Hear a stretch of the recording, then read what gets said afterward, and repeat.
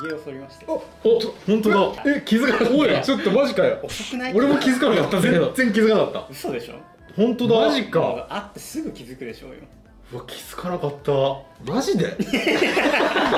だってケビンに関しては俺今日昼間会ってるから。そう昼間会ってるからね。2回会ってるもそうよ。んねマジか。うん。本当に気づいてないの。いやガチで。いやマジで気づかなかった。え今剃ったんじゃない？いやそうだよね始まる直前に剃ってたなんかでしょ。なんか洗面所行ったもんねさっき。言ったね言だったね。けど剃ってないよ。ウィーンって音しなかったでしょ別に。どどうどうしていやいやまあ別にそんなあれなんだけど。深い理由はない。やそうそう。どうそ剃ってた気持ちは？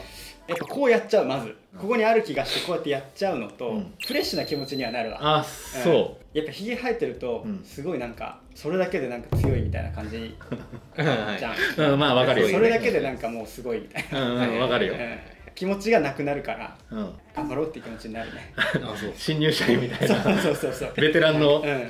十何年目の社員から新入社員になった。そんな気がする。でひげ生えてるとこうやっぱどうしてもなんかすごい物知りみたいな気持ちになっちゃうから。ああそれが今もないからもう。そっか。なるほどね。何にも知らない。そう何を勉強します。なるほどね。今後はどうしていくんですか？そのずっとないままで続けるんですか？いやーちょっと迷い中？だ毎日ああそうかそうか。でもさ意外と伸びてたよね。なんかその結構さ、そうなの。難しいじゃんあんなに伸ばすの。だから、まあ、まずそれを試せたのは良かったね、うん。あのぐらい俺のひげも伸びるんだと。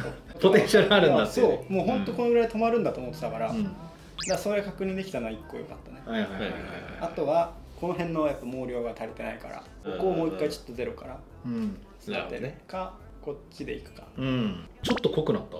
あでもそそんなことない。うひげ濃くなった俺。なったよね。なった。